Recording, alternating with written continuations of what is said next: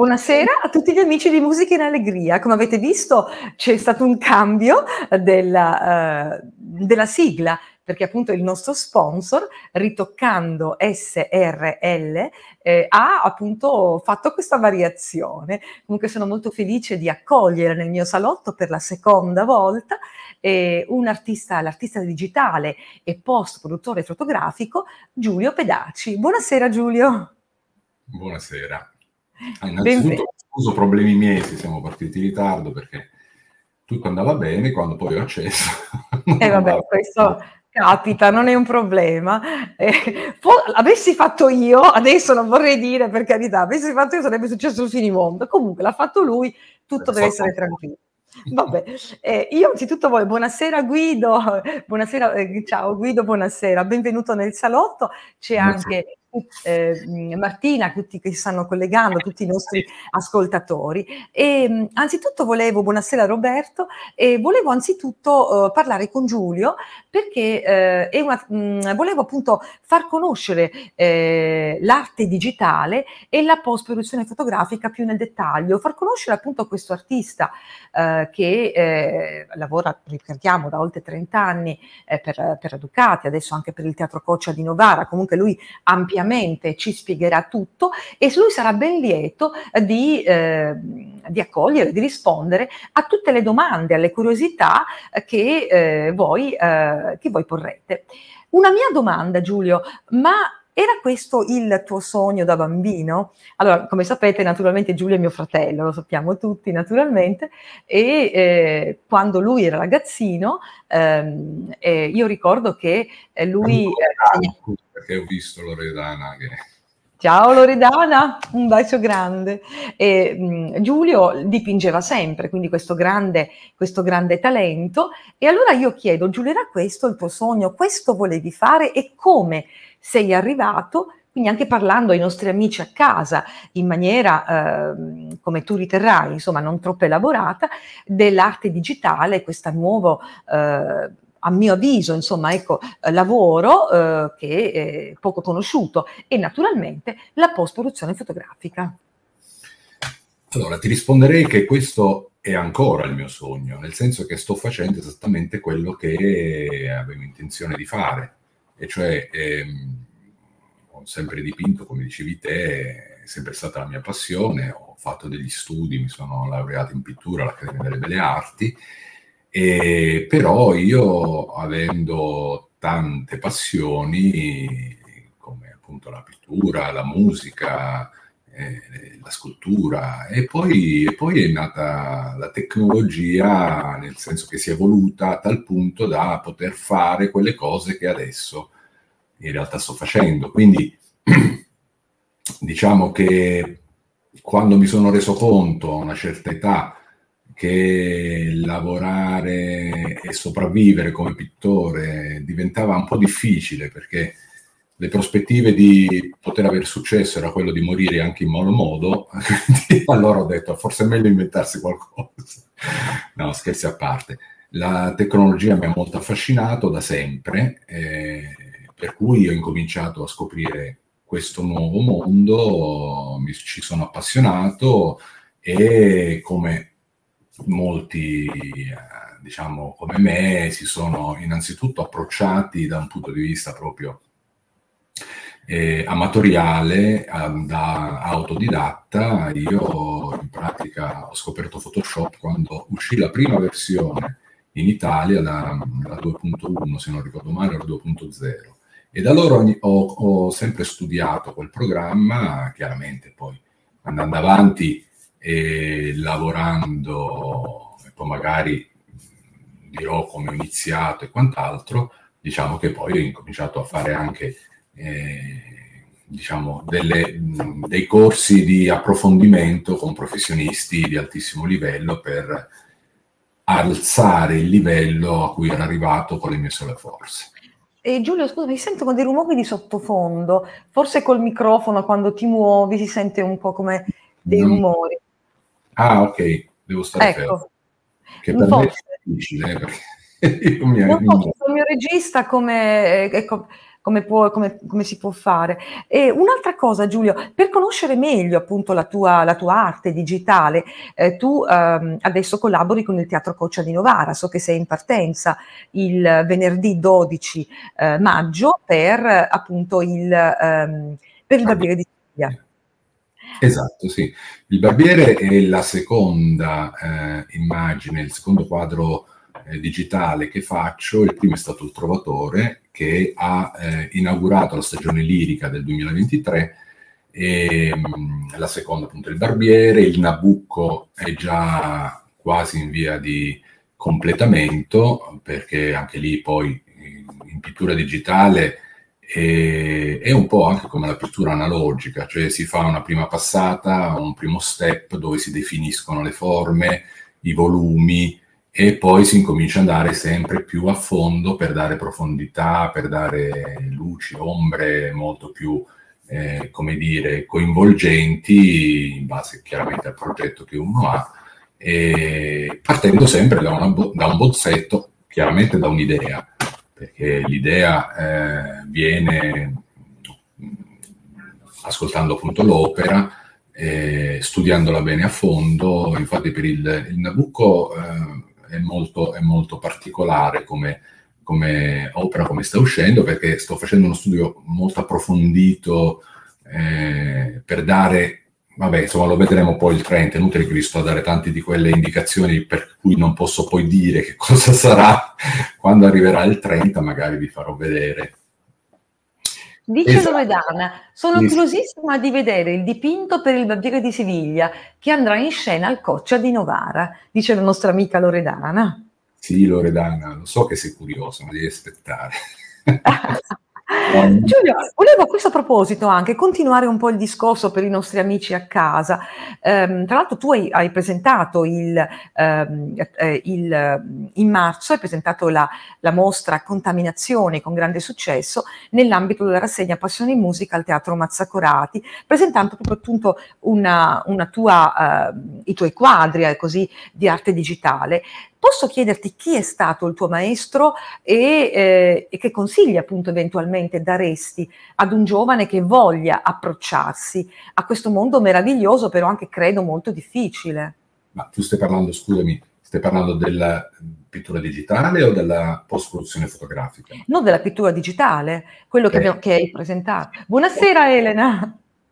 Sì, il, um, allora, la pittura mm, non digitale quella eh, normale. Ecco, vorrei sua Giulio, vorrei che tu proprio chiarissi ehm, ai nostro pubblico a casa in maniera piuttosto anche eh, semplice la differenza, no? Quindi proprio eh, nello specifico l'arte digitale, la pittura digitale, la post-produzione fotografica.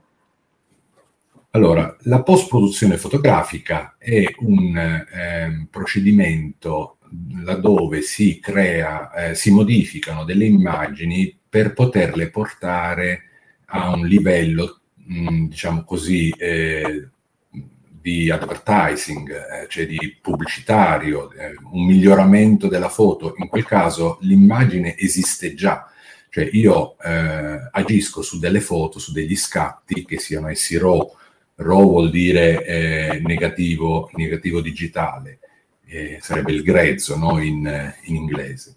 Eh, però l'immagine esiste, è stata scattata più o meno bene, questo dipende dal fotografo chiaramente, e il post produttore fotografico interviene, ma dopo farò vedere degli esempi, interviene... Poi, eh, ma se volete ve lo faccio anche vedere subito, finisco con la differenza.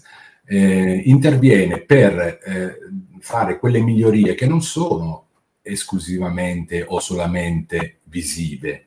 Cioè, è vero che il post produttore migliora le foto, eh, le rende più belle, eh, ma ehm, mh, le prepara anche per la stampa. Quelle chiaramente che andranno in stampa, se vanno sul web, ci sono altri accorgimenti.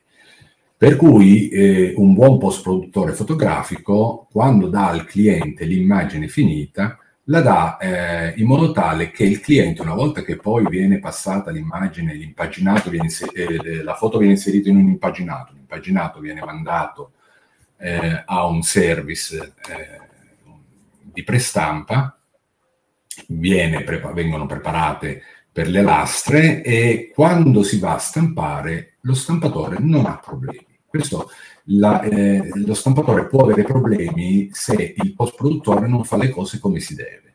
Ci sono tante cose tecniche che, che bisogna sapere e poi andando avanti magari eh, spiegherò anche come ho iniziato e come ho continuato per diventare post produttore fotografico e dare ai clienti quella certa sicurezza di non incorrere in problematiche nel momento in cui io do un'immagine, loro la passano poi allo stampatore ed escono i disastri. Eh. Detto, questo, detto questo, però si parte da un'immagine. La pittura digitale in realtà eh, io eh, i quadri che ho fatto li ho fatti con Photoshop.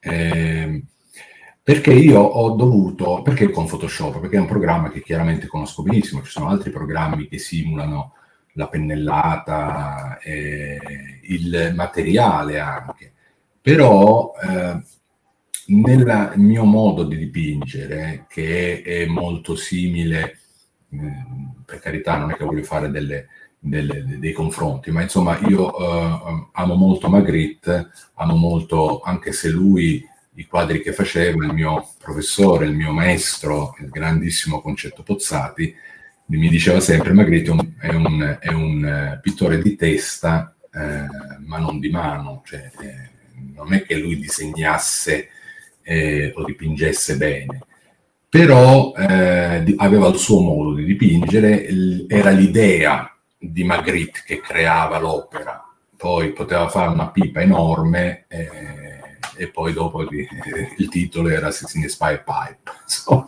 e lì era la genialità. Dopodiché, eh, per dipingere con Photoshop eh, si parte da, eh, lo farò vedere, da una tela eh, digitale bianca, dove bisogna disegnare e si disegna in vari modi, eh, ognuno sceglie il suo, io ho le mie tecniche, ma eh, ho dovuto creare una procedura per poter dipingere come volevo io su Photoshop, perché in realtà non si potrebbe fare, nel senso è, è talmente difficile quello che io voglio fare con Photoshop che o mi inventavo un modo per farlo, o altrimenti sarebbe stato impossibile nonostante io conoscessi molto bene Photoshop, perché io Photoshop non solo lo studio dal, dalla versione 2, ma eh, lo insegno anche, lo insegnavo, adesso non ho molto tempo, ma insomma eh, eh, a come utilizzare il programma. Per cui ho ideato una tecnica che in realtà più che pittura digitale diventa quasi scultura digitale. Però non voglio entrare nei tecnicismi. Dopodiché, eh, non ricordo più che cos'altro mi avevi chiesto, no, questo era... Da... Sì, questo su, come appunto sì. specificare eh, l'arte digitale, la pittura digitale e la post-produzione fotografica e quindi anche con degli esempi per i nostri amici a casa e perché no, anche per me. Io finalmente ho imparato, tra l'altro io e Giulio eh, lavoriamo insieme da, da molti anni, eh, siamo nello stesso campo lavorativo pur in due specifiche eh, differenze. Eh, Ciao Carla, ciao Carla, buonasera, buonasera carissima Carla. E, ehm, e quindi sono due, eh, due mondi eh, diciamo che si assomigliano, però sono ben distinti. E quindi lavorare insieme a, a, lui è sicuramente esaltante, eh, gratificante, però molte volte motivo di scontro e questo sicuramente ci, eh, ci fortifica, ci dà eh, una ben di, distinta personalità. Vero maestro, cosa dice lei? Beh, mi chiami in qualunque modo tranne che maestro. Va bene, io allora, se, se eh, Michele, il nostro regista, io adesso non vedo se, se avete condiviso il, lo schermo. Sì, adesso lo schermo è condiviso, okay. sono tutte le immagini. Faccio vedere se non le ho messe. Ecco qua, per esempio. La differenza, adesso parliamo di differenza tra eh, post, tra eh, pittura digitale e post-produzione. Allora, in questo caso, io per fare qualche esempio, facciamo con questo. Allora, anzi, guardate, facciamo una cosa, partiamo da questo che qui, io qui vi faccio vedere. Questo è quello che preferisco, mi piace tantissimo. Allora, questo è, questi quadrettini che vedete, eh, è come se fossero degli acetati, cioè mh, mm, è trasparenza questa, non c'è niente. Quindi si crea una forma, viene disegnata, Dopodiché si comincia a dipingere.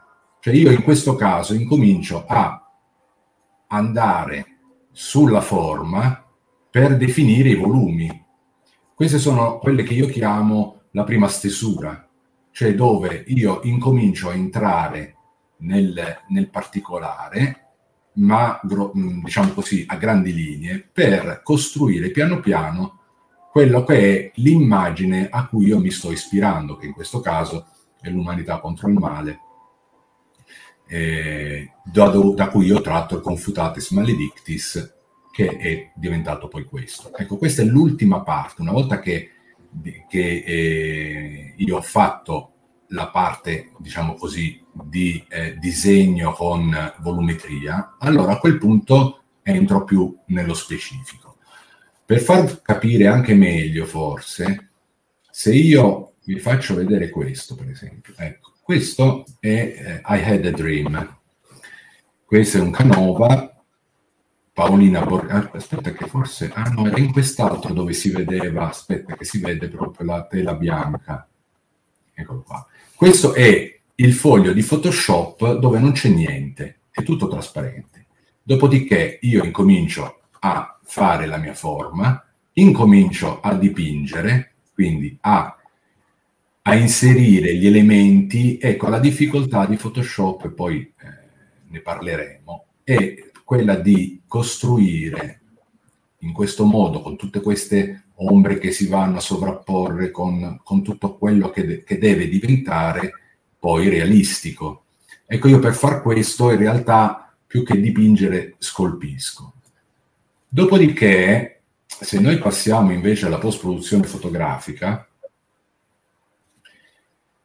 Post-produzione fotografica è un'altra cosa. Ecco, per esempio, questa è per esempio il classico esempio di eh, come eh, colorare con Photoshop. Questo è eh, la Walt Disney, mi mandava le chine e io traevo poi dalle chine quello che era poi il, il, eh, il fumetto che volevano. Dopodiché, però, la post-produzione fotografica è questo. Allora, arriva il cliente, e dice, bene, io ho questa foto.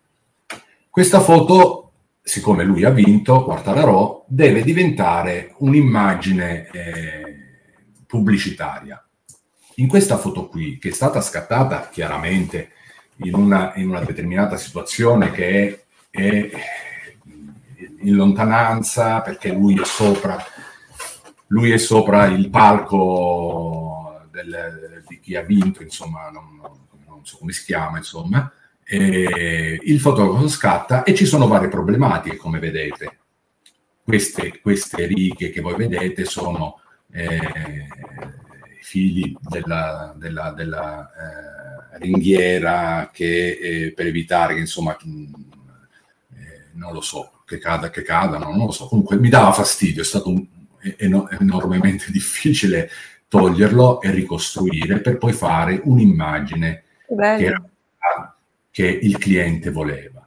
Dopodiché, eh, ma non è solo quello, la post-produzione è perché magari eh, questo è un interno di uno yacht e vengono rifatte, eh, vengono rifatti gli interni, ma rifatti nel senso che vengono cambiati i materiali e il cliente chiaramente eh, piuttosto che richiamare il fotografo, farlo venire, riallestire e quant'altro, chiede al post-produttore, bene, eh, i legni sono cambiati, non sono più lucidi, come vedete qui, dobbiamo togliere la lucidatura, dobbiamo cambiare la modanatura, questa seggiola è diventata eh, più ecru che gialla e il post-produttore deve fare tutto questo. E il post-produttore lo fa.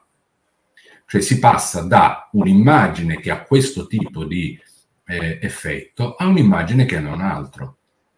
Poi chiaramente, per esempio, il, eh, le cose cui molti non notano sono le, i riflessini che ci sono, che in questo caso sono in questo punto, ma tante volte potete divertirvi a vedere magari delle post-produzioni fatte male perché, che ne so, eh, tu vedi una foto dove nei riflessi c'è qualcos'altro. Ecco, lì è passato un post produttore poco attento, faccio per dire.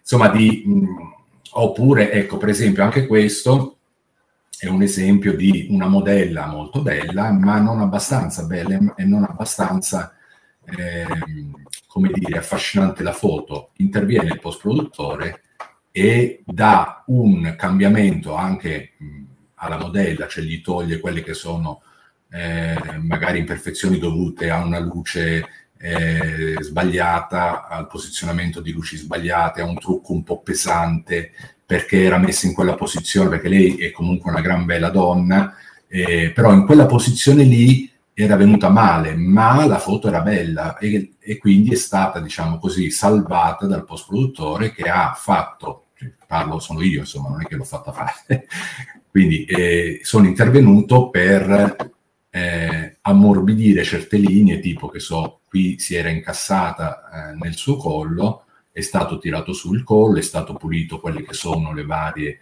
ehm, i vari difetti dovuti appunto a, al trucco che era un po' pesante, non era molto elegante come, come trucco, quindi è stato reso anche più elegante.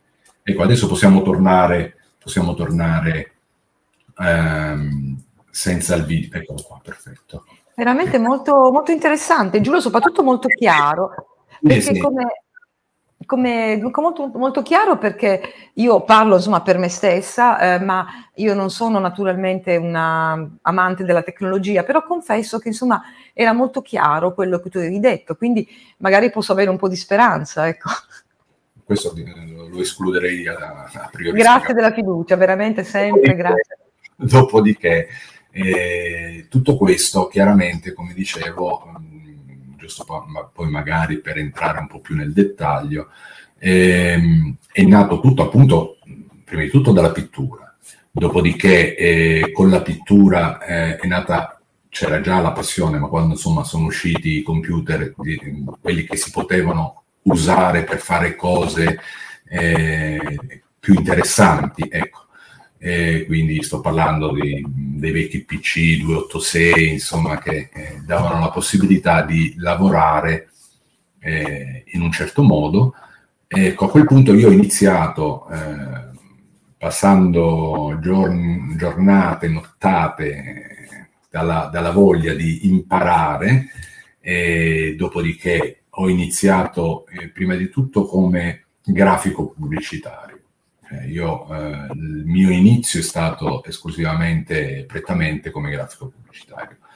Però a me interessava molto la manipolazione dell'immagine perché chiaramente, venendo dalla pittura, allora, Mario dice, Francesco, la tecnologia, ehm, con, eh, dunque, come si suol dire, eh, ci, eh, ci, si nasce, ci si vive.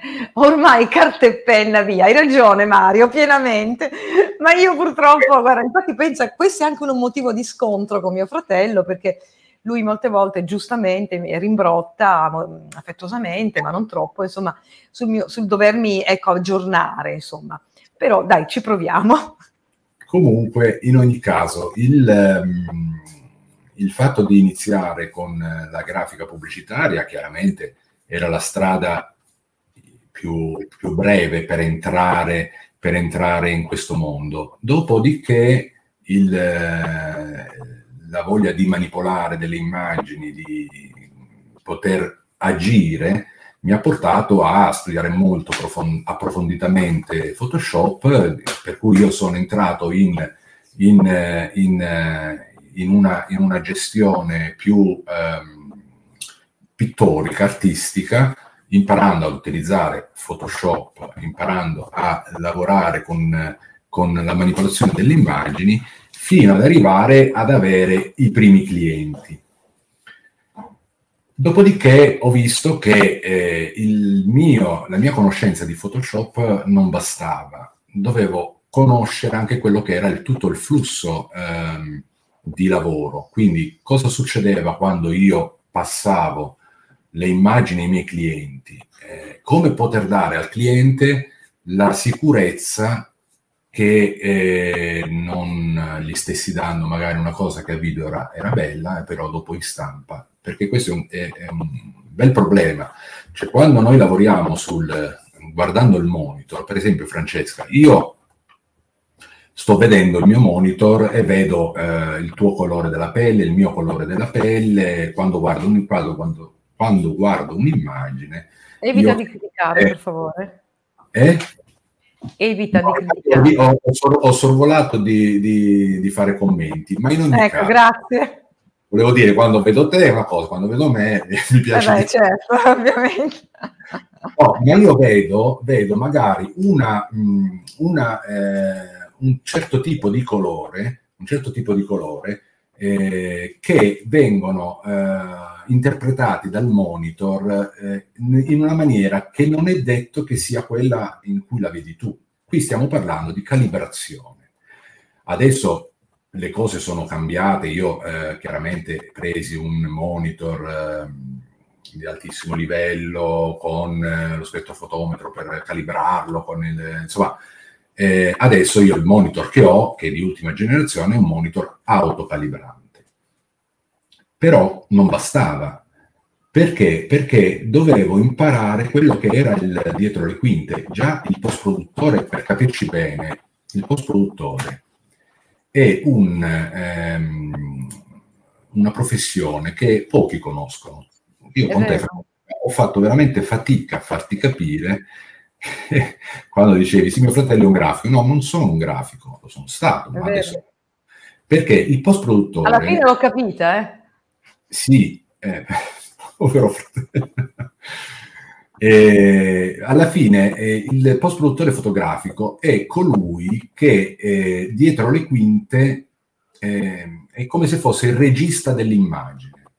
Cioè eh, ci sono i fotografi, ci sono le agenzie di comunicazione, le di pubblicità che eh, prendono la scena. In realtà dietro ci siamo noi che fanno appunto, mettono a posto, rendono mh, mm, gradevoli, belle, non problematiche, le immagini che vengono fatte da, eh, dai fotografi, ma non perché vengono fatte male, alle volte sì, ma insomma perché una foto non, per andare in stampa deve avere certe caratteristiche e comunque la foto perfetta non esiste, ma non siamo noi adesso che facciamo post-produzione. I, ah, i, i, fotografi di una volta facevano post-produzione direttamente analogicamente, e cioè con eh, l'utilizzo degli acidi se, se chi, chi, sa usare Photoshop si rende perfettamente conto che alla fin fine noi lavoriamo come se stessimo lavorando in camera oscura, soltanto che quando lavoriamo in post-produzione noi lavoriamo in camera chiara, si chiama. Cioè noi lavoriamo come se stessimo utilizzando degli acidi. Detto questo, la post-produzione fotografica lavora dietro le quinte, per cui mh, pensa che eh, io, il mio commercialista mi ha inserito in una categoria eh, che non è quella, cioè non mi può inserire come fotografo, non mi può inserire come, che ne so io, artista di, di musicale, perché non, i codici ateco non ci sono neanche per la nostra professione. Questo però è anche un bene, perché diventa, eh, la nostra è una, è una professione di nicchia, che pochi conoscono e pochi sanno fare a un certo livello. Eh, è vero. Questo è evidente che eh, per conoscere meglio, ritorno a quello che stavo dicendo prima, io ho deciso di entrare, io già lavoravo per eh, la Walt Disney Italia, Europe, lavoravo per, eh, per gli yacht, eh, insomma, però sono entrato, e questa è una cosa che io consiglio molto ai ragazzi quando me lo chiedono, sono entrato senza far dire niente, in una fotolito, senza dire che io già sapevo, eccetera, eccetera, perché io volevo imparare quello che era dietro le quinte. È chiaro che dopo i primi due anni poi sono diventato il, il responsabile della, della, grafica e della prestampa, perché eh, chiaramente io già lavoravo a un livello che era notevolmente superiore a quello che poteva essere un ragazzo che sta dentro una fotolito, Beh, certo. sistemare.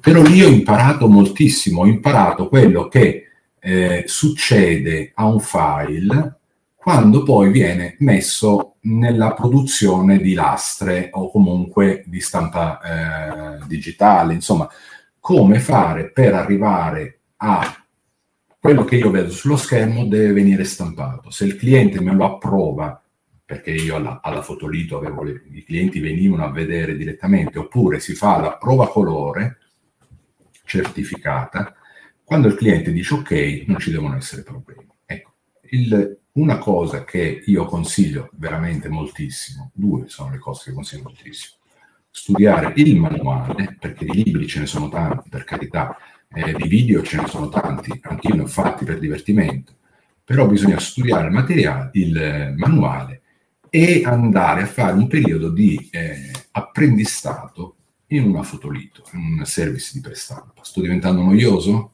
E magari volevo velocizzare un pochino, Giulio, scusami. E, ehm, volevo chiedere ancora una cosa. Eh, abbiamo delle. Naturalmente è molto interessante il fatto che tu faccia vedere le fotografie, eh, scusami, le fotografie, le immagini. Se ne abbiamo altre, magari chiediamo al regista, però prima abbiamo delle domande. Le metterei in ordine di, di apparizione, per favore, chiedo al mio regista. Abbiamo Guido Villa che chiede. Ecco, molto interessante. Una domanda Giulio. Cosa pensi della intelligenza artificiale applicata al campo artistico? So poco, ma intravedo sviluppi inquietanti, in effetti.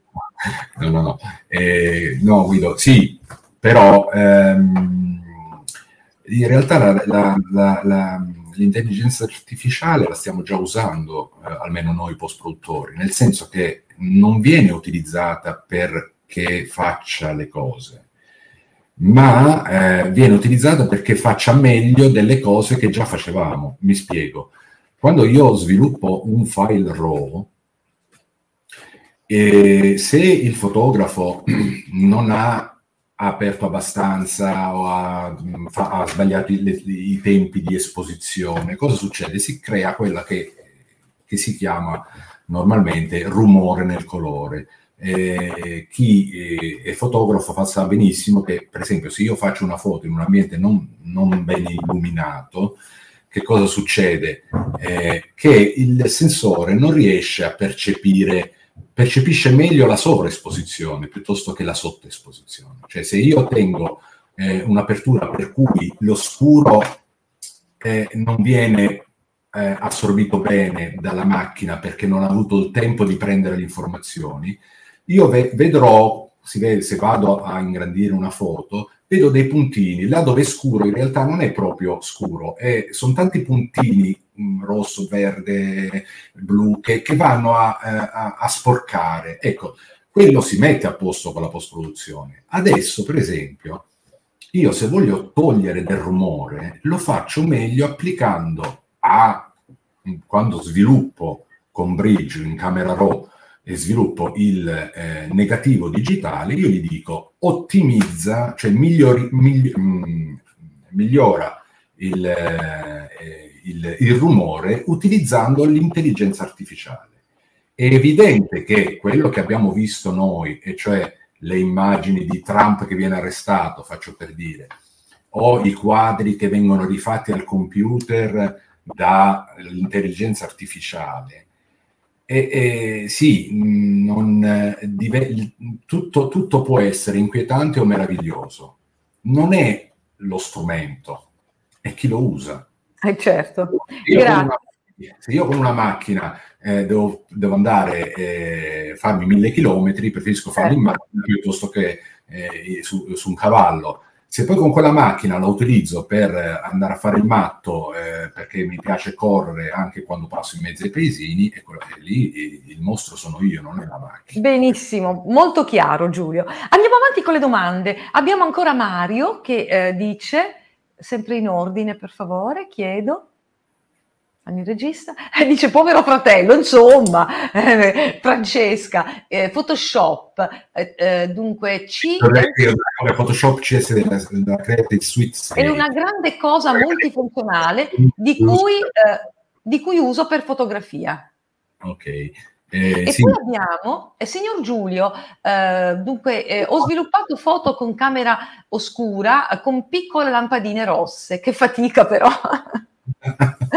sì. È molto simpatico Mario. E abbiamo ancora la nostra Betty che chiede a Giulio, eh, Betty dice, eh, ma se il cliente non ha uno schermo calibrato o decente e si lamenta perché vede i colori diversi, eh, come, risponde, come rispondere? Betty, guarda, eh, questo succede sempre. Il problema è che eh, purtroppo mh, il problema principale è che dovrebbe parlare con il post produttore, eh, stiamo parlando di clienti, almeno io parlo dei clienti miei che sono clienti di aziende, che, mm, aziende di eh, automotive, vede fure, vede, eh, ma non, non, non eh, la persona, eh, il privato, diciamo così, cittadino, che non, perché in quel caso in qualunque mestiere arriva quello che, che, che, che fa sempre delle domande assurde perché non conosce niente e, e, e, fa, e fa polemica. Però il problema è cosa dico? Io la cosa che dico fondamentalmente quando io mando qualcosa al cliente, eh, gli chiedo prima di tutto eh, dove poi andrà a verificare questa cosa, soprattutto dove la vuole mettere, cioè se quel cliente eh, vuole utilizzarla su eh, eh, il monitor perché la vuole mettere sul social, sto parlando di privati chiaramente, eh, perché immagino che sia la casistica più ampia. Eh, se io ho un cliente, dovessi avere un cliente eh, che dice io voglio mettere a posto questa foto, questa foto la passerò sui social, bene, io so già che sicuramente quell'immagine andrà lavorata sempre, lo dico perché chi sta vedendo questa trasmissione un, probabilmente, a parte le curiosità, ma un minimo di, Francesca, di informazione tecnica la devo dare. Le immagini vanno lavorate sempre in Adobe RGB, però perché? Perché ha un gamut più ampio. Dopodiché, se io so che il cliente deve portare la foto eh, esclusivamente sul web, gli dico bene, tu lavora in Adobe RGB, o meglio, io la lavoro in Adobe RGB, ma gliela passo in sRGB perché eh, l'sRGB è il, ehm, il, profilo colore che viene visualizzato eh, in, in, uh, su internet. Ok, grazie mille. Però aspetta, perché alla fine non ho risposto, cioè questa è una premessa, già quello mm. dall'idea. Quando il cliente dice sì, ma io la vedo in questo modo, mi è successo spesso che qualcuno dicesse eh, anche di aziende, laddove c'era il manager che diceva sì, ma io la vedo. No, allora, eh, se vuoi stare tranquillo, eh, io ti dico, poi hai due, due mo- modi per, per stare tranquillo. Uno, il primo è che facciamo una prova colore certificata e ti arriva la stampa, punto. Perché io non posso risolvere i suoi problemi, perché lui giustamente è il manager, che però è il capo che vuole, vuole dire la qualunque su qualunque cosa e dice sì, aspetta, la foto prima di, di dare l'ok, eh, devo vederla io perché sono il padre padrone. Sai quante volte è successo? Però lo guarda su un monitor che fa schifo. Allora lì l'unica cosa è dire, guardi, o viene da me a vederla sul eh. mio monitor, o altrimenti io le do la cosa, fa fare, facciamo fare una prova di stampa, ma anche non certificata a quei livelli, intendo.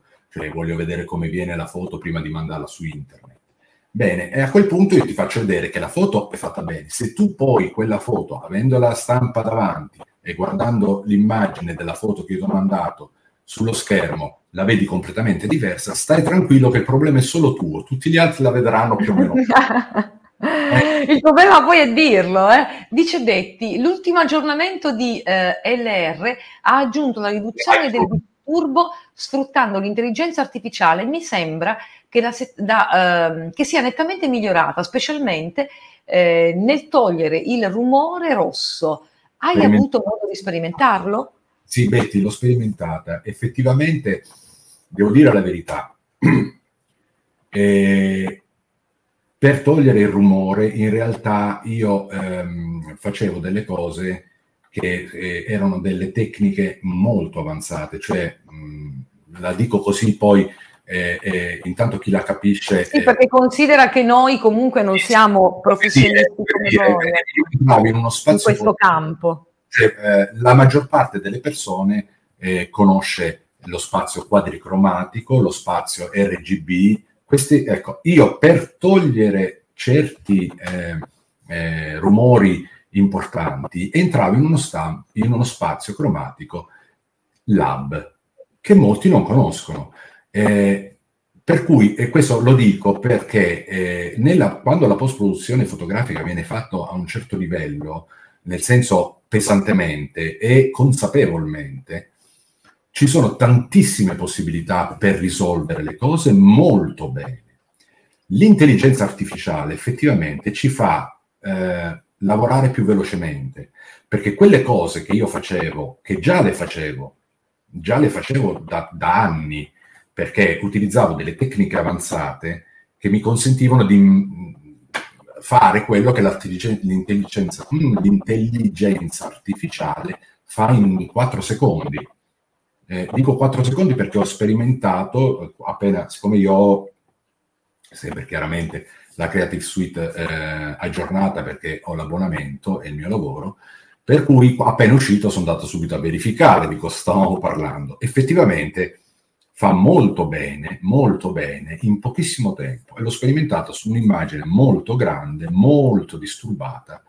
Chiaro, dipende anche dal computer che deve essere performante, però sul mio computer 4 secondi ha risolto, ma 4 secondi sto esagerando, in meno di, di 3 secondi ha risolto una cosa che si faceva, ma con un po' di... Ecco, di posso parlare io adesso? O il monologo è finito? Parla.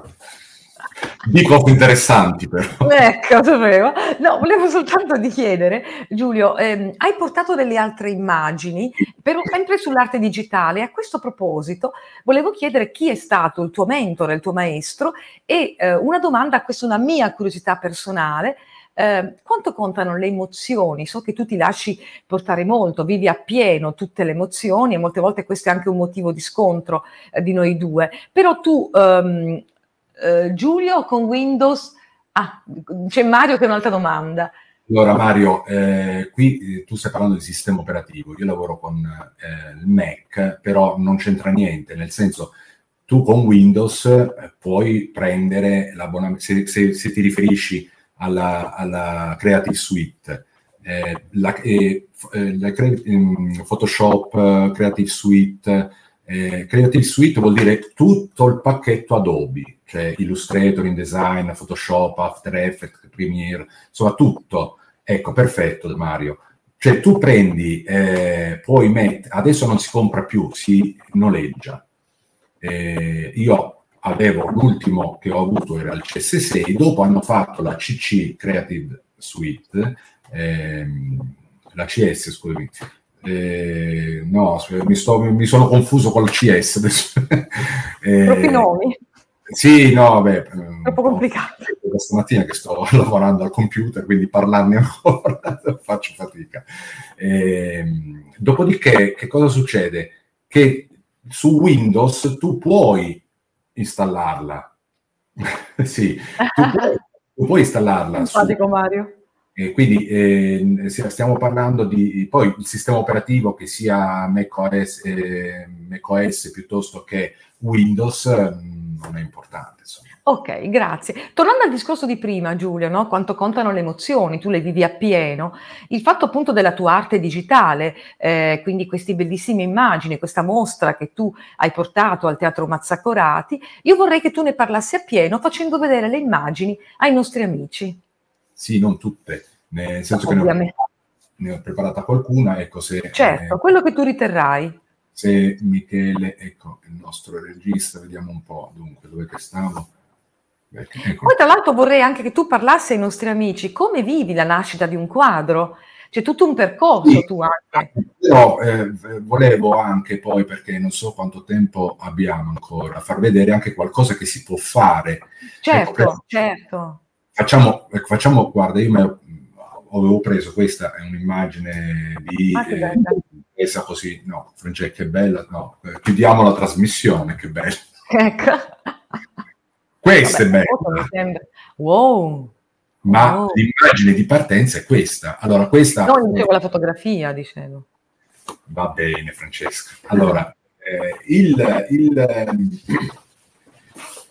la, la, la casistica anche quando io ho messo, eh, ho detto che sì, magari far vedere qualche, qualche procedura veloce, però chiaramente eh, la vedo un po' difficile di farla adesso. Adesso vediamo un po' cosa si può fare. Allora, questa è una... È eh, un'ora, Giulia, voglia. Eh, è quasi finita. no, sono 40 eh, minuti. Dobbiamo litigare subito, Giulio. Guarda, Francesca, che cambio foto. Eh. Allora, questo è un, un esempio che, eh, a cui io ho fatto eh, del, una post-produzione veloce eh, per far vedere come da un'immagine che sembra persa eh, si può arrivare a tirar fuori qualcosa di più significativo, come questo. Dove io... Ma volendo Giulio, io parlo da persona appunto che non sono uh, del mestiere, si può fare per esempio, questa è la tua idea, ma un altro per esempio può avere un'altra idea o rimane sempre quel colore? Questa, no, que- no allora, questa è, è, è, è, una bella domanda quella che hai fatto, nel senso, sembra strano, eh, quindi, eh, però... Eh, Grazie che lo dici pubblicamente, veramente, cioè proprio... Photoshop, Photoshop ha una grande, ha una grande eh, caratteristica, ha una grande caratteristica, che è quella di eh, dare la possibilità.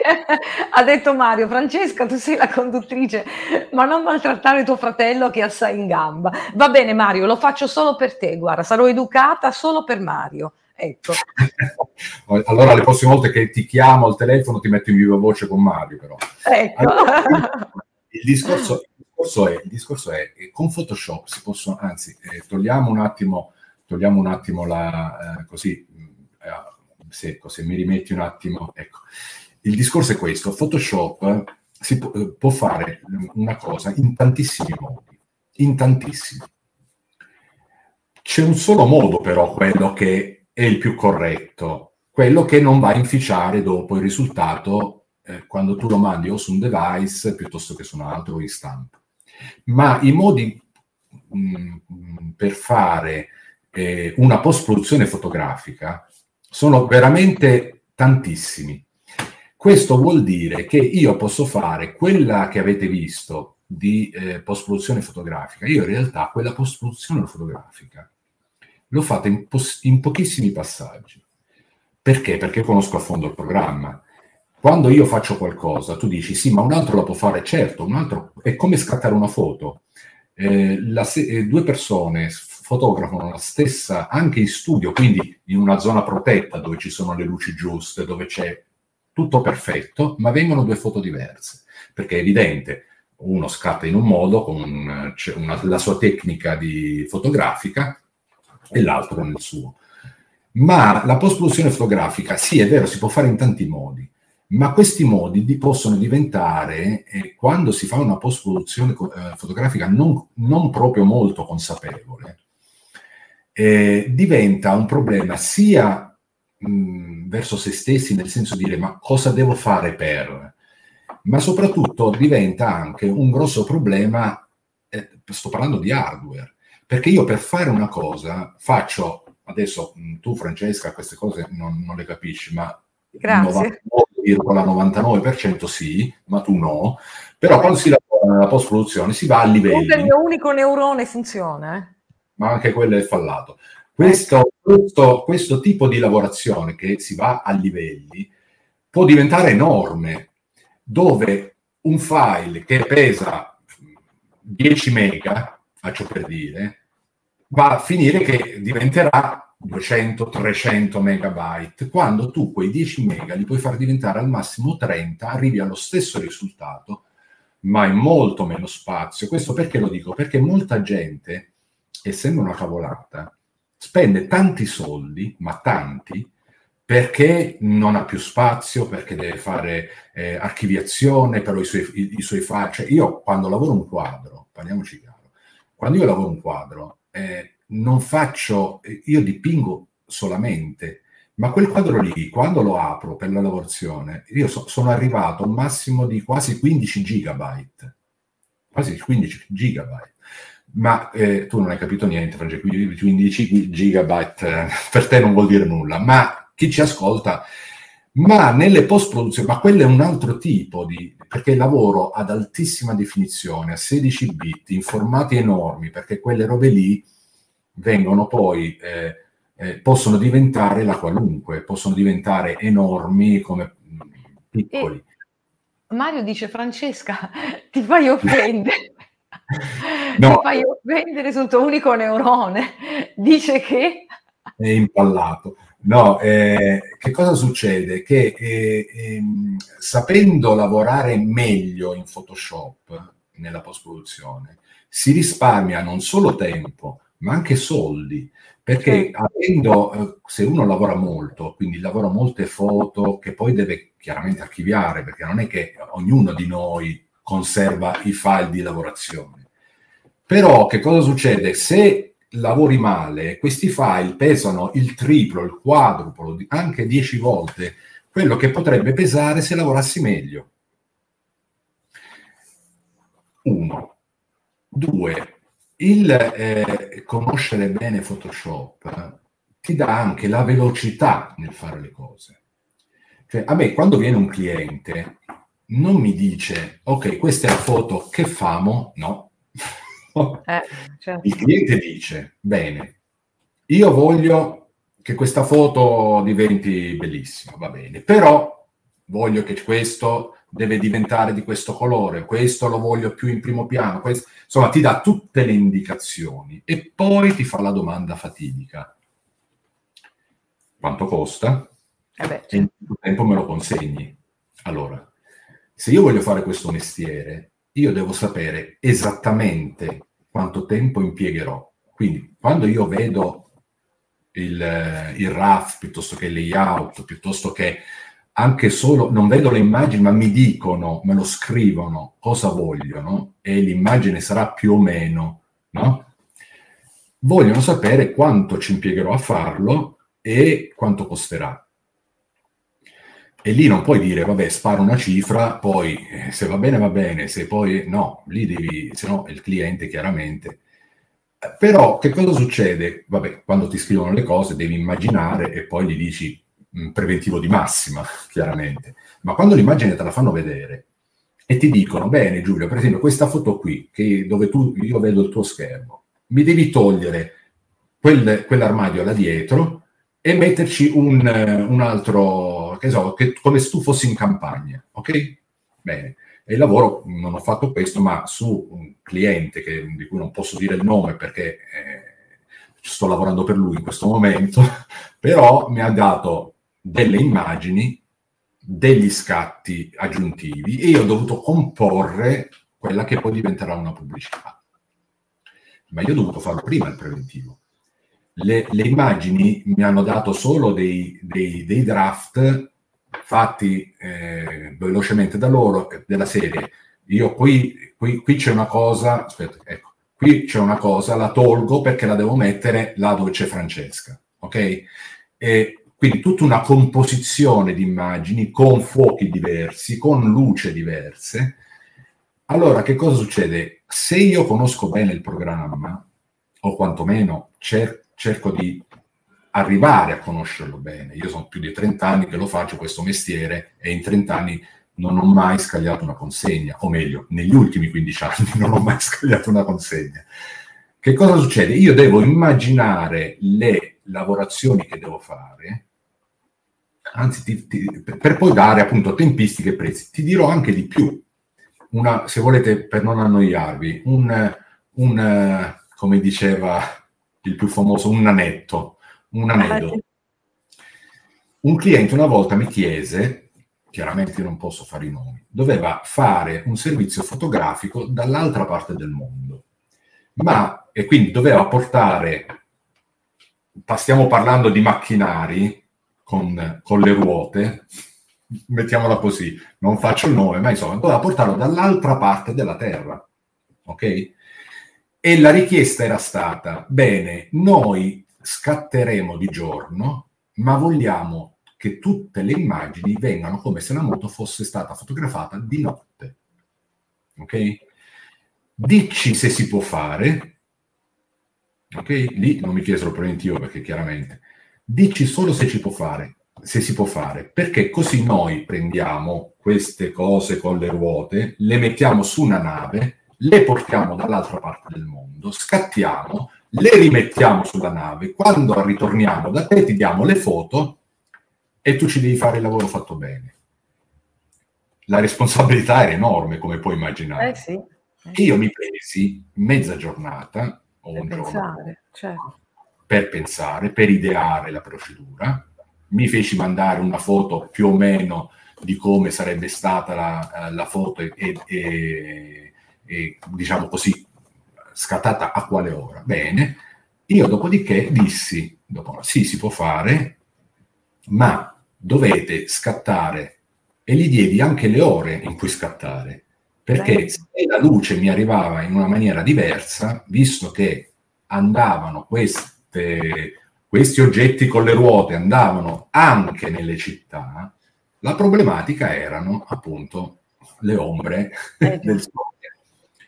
Quindi tutto questo per dire che io adesso vi faccio vedere cosa si può fare. Si può fare la stessa cosa in tanti modi, che possono essere migliori o peggiori. Comunque certo. migliori, la foto la, la, la, la manipoli.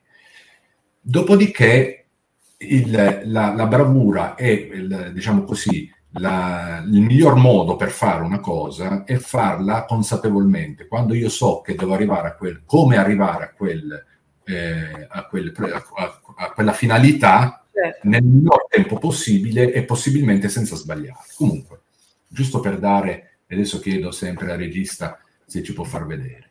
Ecco, io per esempio, no, per far vedere una procedura veloce, perché sennò poi va a finire alla fine che eh, faccio vedere molto poco. In realtà ehm, faccio vedere degli esempi di post, prima di tutto. Per esempio, ecco, questa è una cosa, per esempio, abbastanza assurda, ok? Questo non potevo togliere il cliente, ma insomma, eh, questo è in pratica è una foto fatta da eh, un fotografo in studio. Il cliente era un prototipo questo. Voleva, la, la richiesta è stata, noi dobbiamo, questa è una bottiglia tagliata, ok? Noi vogliamo che questo, eh, questa, eh, questo bicchiere abbiamo deciso che non sarà più del colore della bottiglia, però le foto sono state fatte, lo possiamo passare a color trasparente e chiaramente farlo diventare più bello? Sì. Bello. Wow. Prima. Eh già. È sempre quello. Eh. L'unica cosa che è stata fatta qui è stato alzato perché vole- lo volevano più alto, ok? Però quello che c'è dentro, qua dentro, qua dentro, e tutti i riflessi di cui parlavi prima, Giulio, anche qui. Queste robe, queste robe qua eh, sono quelle che erano qua. Ok? Sì. È la stessa cosa, quindi io ho dovuto rendere trasparente il, il, il vetro e portare poi quella colorazione. Ma tanto per far, per far capire, eh, questo mostrerò una foto di, di un, mio, un, mio, caro amico, un fotografo naturalista, spero che non ne abbia, ma insomma, eh, serve per far capire. Quando eh, lui è molto bravo a fotografare, chiaramente quando ti trovi a, a, dover fare uno scatto dove devi scattare perché sennò quella scena la perdi, ok? Che cosa succede? Lui ha fatto questo scatto per far capire che io quando faccio post produzione non sto facendo pittura digitale, non sto creando nulla che già non sia all'interno. Mi spiego meglio. Questi colori, ci sono, questi colori ci sono, non li ho messi io, li ho solo svelati. Tu dici, eh, ma come fai? Eh. Poi dopo è evidente che c'è un po', ma questi colori non li ho messi io, non sono andato col pennello a fare, cioè impazzisco una roba del genere. Cosa faccio? La faccio pagare decine di migliaia di euro, una roba del genere, se dovessi io dipingere questo. E questo è tutto all'interno di questo negativo digitale. Lo vedete? Io l'ho fuori e l'ho esaltato. Anche il blu Ma è molto bello. Tutto questo che sembra, e poi io qui ho girato la luce, vedete? Se voi notate, qui c'è una macchia nera ed è più chiaro fuori, lo vedete? Sì. Ok. Io ho girato la luce, Qui l'ho esaltata per dare ancora di più enfasi al, al, al, fatto che lui dà da mangiare a lei, ma è quasi un bacio, no? Però se io non avessi messo questo, comunque in ogni caso io ho dato luce all'interno, ho dato luce alla scena. E qui, qui Francesca, è una cosa, eh, la domanda che hai fatto tu è, è, molto, è molto giusta. Qui, quando mi hai detto sì, ma parliamo anche della pittura, ecco, qui per sapere come fare a gestire un'immagine bisogna guardare i grandi maestri del passato per capire dove, sta lo, dove deve andare lo sguardo. Co- cioè, la prima cosa che io, guardando questa foto, la prima cosa che penso, devo girare la luce. la devo mettere là dove serve. E, e quindi vedi, serve lo studio, che appunto che tu giustamente dicevi prima, no, dei no, grandi maestri. Guarda, no, tutti, tutti, allora non dico che uno per poter fare sta roba deve, deve fare la pittura, eh, deve studiare e laurearsi in pittura. No, per carità, aiuta, ci mancherebbe altro. Infatti io poi dipingo anche digitalmente. Però la cosa importante è guardare come i grandi pittori facevano i loro quadri, ma studiarseli proprio dal punto di vista, ma che, che, che cosa mi vuole raccontare? Qual è la storia? E quindi allora, torna al discorso anche delle emozioni. Volevo, esatto. sì, volevo Giulio anche leggerti delle domande che abbiamo. Eh, di Betti, sì. si può vedere un dettaglio del piumaggio e poi Mario eh, dice e abbiamo ancora Mario che dice eh, stupendo, sì, i colori riesco a cambiarli, anche io eh, uso anche inverti, non so che cosa sia. No, capito Mario, io non ne capisco. diciamo, diciamo, che no, non sono invertiti i colori. I colori, eh, eh in realtà se tu inverti i colori eh, fai il negativo del colore. Eh, no, lì, lì, vanno proprio, è in fase, eh, in fase di sviluppo dell'immagine, eh, perché quelle immagini possono essere tirate fuori in quel modo. Diciamo così, si può fare anche se non sono dei negativi digitali, ma è, è veramente, è, è veramente è più facile farlo, più facile per modo di dire, ma insomma... Grazie Mario può fare anche con delle immagini che sono state già chiuse, sto parlando di JPEG, di TIFF. Il problema qual è? Che quando il fotografo mi dà una foto in TIFF o in JPEG, il problema è che lui oramai ha già fatto lo sviluppo e l'ha congelata. Io la posso comunque ulteriormente migliorare e tirar fuori quello che lui neanche immagina si possa tirare. Ma è evidente che lavoro con una mano legata dello schermo. Certo, grazie. Con posso fare molto di più. Grazie. Il dettaglio del piumaggio, chiedeva Betty, siamo, siamo, quasi giunti alla fine proprio di questa bellissima chiacchierata, molto interessante, persino io ci ho capito qualcosa, quindi vuol dire, Giulio, che sei stato molto esaustivo. Chiedeva Betty, Betty un dettaglio del piumaggio. Faccio vedere qua, Betty, che sì. qui si vede meglio. Allora, guarda Betty, qui, aspetta che ti to- vedi, qui ci sono tutti i miei puntini di, per prendere le, le, il dettaglio del colore. Allora, questa è una foto dove tu dici bene, ok, questa l'ho fatta per un corso per far vedere fin dove si può arrivare, quindi anche un po' estremizzata in alcuni punti, ma lascia perdere perché l'ho fatta, forse l'ho fatta proprio durante un corso. Ti faccio ah, vedere. Ah, tu sì. guardi questa foto e dici, eh, come faccio? Sì, c'è, c'è tutto, c'è tutto, basta saperlo tirare fuori. È vero. Questo e qui ho, ho, fatto un po' più forte per far vedere anche per quegli effetti delle gocce. Questo lo feci per un workshop, lo preparai come esempio, per far vedere come da questa foto, dove tu dici non c'è niente, perché anche se vai a guardare nei canali, io sto guardando i canali, no? Ok, red, green, blue. Ok, poi ti faccio vedere la mia, red, green, blue. Cioè è, è un'altra cosa. Okay. queste allora, guarda, questo è il blu della foto prima e questo è il blu della foto dopo. Ok? Eh, Ma qui ora con le curve, eh? cioè io non vado a prendere le curve e, perché non è quello, ci sono delle tecniche avanzate che ti portano a dare quello che poi, ok, è un'altra storia. Ecco, qui io sto raccontando la storia di questo fenicottero. Qui è una foto, è una normale foto. Qui invece sto raccontando una storia. Quando dicevo guardate i grandi maestri, cioè dovete capire che cosa bisogna fare perché io possa raccontare una storia, perché se no di queste foto qui se ne fanno 3000, poi dopo sì, io posso aggiungere una curvatura laddove scurisco, schiarisco, ma non vado a prendere mai, per, io, per quanto io possa scurire e tirar fuori, comunque non riesco ad arrivare a quel livello a, dove, dove tirar fuori, vedete, dove metto una cosa vado a inficiare l'altra. Eh no, eh sì. ci sono delle tecniche molto avanzate che fanno sì che io possa riuscire a tirar fuori e a raccontare certe storie in maniera molto più professionale. Grazie Giulio, quindi un lavoro di grande equilibrio e soprattutto di grande eh, diciamo, uso perfetto della cromia. Noi abbiamo finito... Eh, volevo dire una cosa, io qui mi ero preparato delle, delle cose veloci perché eh, pensavo di riuscire a, a, a, farle vedere, però eh, colpa mia. se vuoi abbiamo ancora dieci minuti, li abbiamo. Giusto per far vedere, e chiedo a, appunto al regista se volevo far vedere come dare dei consigli velocissimi Ecco, eh, questo è importante.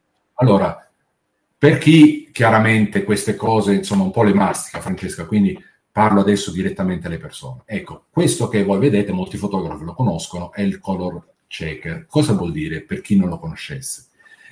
Che il problema fondamentale è quello di fare una foto che non abbia delle dominanti. Bene, allora se noi avessimo per ogni foto questo, che appunto si chiama color checker, eh, faremo questa cosa qua, cioè prenderemo il contagocce, andremo a puntare sul punto grigio, quando si dice devo, no, eh, non ho messo a posto il punto bianco, in realtà si vuol dire no, non ho equilibrato i colori con il grigio. Io clicco qua sopra e i colori, come avete visto, prima, dopo, si mettono a posto. Andiamo più veloce, togliamo questo. Quindi questo era giusto per dare il senso di quello che voglio dire. Ma io avevo portato questo esempio perché a quel punto dico, benissimo, facciamo vedere qualcosa di più. Io ho questo, allora sono andato a fare la mia figlia è andata sulle giostre, sto, sto facendo finta di uno che va, fa una foto, però quando torna a casa la trova, eh mamma mia che, che dominante che è venuta, è tutta verde, ok? Come la metto a posto? Ok, ci sono, vi faccio vedere le cose più veloci. La più veloce di tutte è questa. Io vado a prendere, quindi non vado a fare un, un altro livello per cui aumento il peso della foto. Ok, siamo passati da 9 megabyte a 18 megabyte. Ok, no, via questo, non, serve, non mi serve niente. Io che cosa faccio? Prendo un livello di regolazione curve. Ok? Che cosa faccio? La cosa più semplice per mettere, eh, si fanno cose migliori, ma la più semplice per dirvi, va bene, non vi lascio andare senza avervi detto almeno una chicca velocissima. Per rimettere a posto questa eh, foto togliendo il più possibile quella che è la dominante. Se voi guardate qui, questo è il pannello delle, delle, delle curve, mi avvicino un po'. Come vedete ci sono questi tre ok, eh, contagocce. Bene, torniamo a questa visualizzazione. Se io vado a prendere quello di mezzo, perché questo è il nero, questo è il bianco e questo è il punto grigio, con questo, che è diventato, come vedete, lo vedete qui, un, un mirino, adesso mi dirigo, metto questo così lo vedete, io devo, devo scegliere in questo caso quello che secondo me, quello che secondo me è il punto che sicuramente è grigio, sicuramente può essere un pezzo di acciaio, qualunque cosa. Quindi io dico, bene, sarà questo, questo potrebbe essere grigio, ma potrebbe anche essere colorato, però questo, a meno che non è stato dipinto, insomma, mi dà l'idea che sia grigio. Bene, io non faccio altro che con questo, con questo strumento qui vado sul punto che penso sia, sia grigio e clicco. Che bello, mamma mia. Con una, un solo passaggio ho riallineato i colori. Sì. Non in maniera professionale, ma quantomeno torno a casa e dico, moglie, guarda che bella foto ho fatto a mia figlia. Ok? E, e la si mangia. Tra l'altro, Giulio, c'è una domanda ancora di Mario che dice che vuole chiederti, ha detto, ma posso chiederti giù una, una, una richiesta piccola? Chiede Mario. Sì. Sì, Mario, vai. Comunque molto, molto interessante. Tra l'altro... Non c'è la richiesta, Francesca. Come? Non è arrivata la richiesta. Ah, non è ah. arrivata? Ah, ok. Allora, Appena... continuo, velocemente, continuo velocemente su un'altra cosa. Un'altra cosa veloce per eventualmente chi dovesse avere dei problemi eh, così semplici ma non sa come risolverli, ecco, in Photoshop perché io devo fare, pensando che c'è quello che ne sa tantissimo, pensando anche quello che non ne sa niente. Quindi faccio vedere un altro velocissimo, se non trovate lo strumento che vi sto per far vedere, lo trovate eh, eh, qua dentro e faccio vedere qua dentro dove qui ci saranno tre puntini e io per esempio vado a prendere, eccolo qua, strumento occhi rossi. Come si usa lo strumento occhi rossi? Lo vedete qui, è, un, eh, è come fare un rettangolo di selezione. Se io voglio togliere gli occhi rossi, non devo prendere, cliccare e trascinare perché viene male, ok? Molti non sanno come utilizzarlo. Bisogna prendere quasi tutta la pupilla. Ecco che con un solo passaggio, clicco, trascino, io ho, qui l'ho fatto meno, meno bene, io ho eliminato il, il, il, riflesso rosso. Quindi se ho fatto la foto a mia figlia con il flash o piuttosto con eh, eccetera eccetera, in questo modo io ho già risolto tutto. Ok? Bene. Molto so, chiaro. Togli... Grazie. Grazie mille. Mario ancora non. Ah, eccolo qui Mario, dice... Um... Ah, vabbè, la battuta. Va bene, comunque insomma, io adesso ho fatto vedere delle Ma Mario, ti ci metti pure tu, solo quello ci va, che mi massacra. Eh, eh, comunque, eh, ho, fatto, ho, fatto, quello che eh, il più, vabbè, un attimo di presentazione perché chiaramente il discorso qual è? Che io sinceramente ho, eh, volevo, avrei voluto far vedere più cose perché? Perché se le persone possono essere interessate a questo tipo di... Io mi rendo perché questo, eh, Francesca eh, mi ha chiesto di eventualmente eh, parlare un po' della mia professione, di far vedere qualche cosa e io ho detto, guarda, ok, io sono disponibile come, eh, come ho detto a lei, ma sono disponibile se la gente dà un messaggio, e cioè si iscrive a questo canale, mette il mi piace a questo video chiaramente. A quel punto, se vediamo che cresce qualcosa in questo senso, possiamo pensare di fare qualcosa di più, eh, come dire, a questo punto Francesca starà più zitta, io sarò più tecnico e partiremo dalle domande che anzi, se qualcuno vuole fare delle domande per un'eventuale prossima eh, trasmissione, la, eh, la, trovate comunque poi scritta sul... ma comunque ve la dico, la, la mail è blog chiocciola ritoccando.com.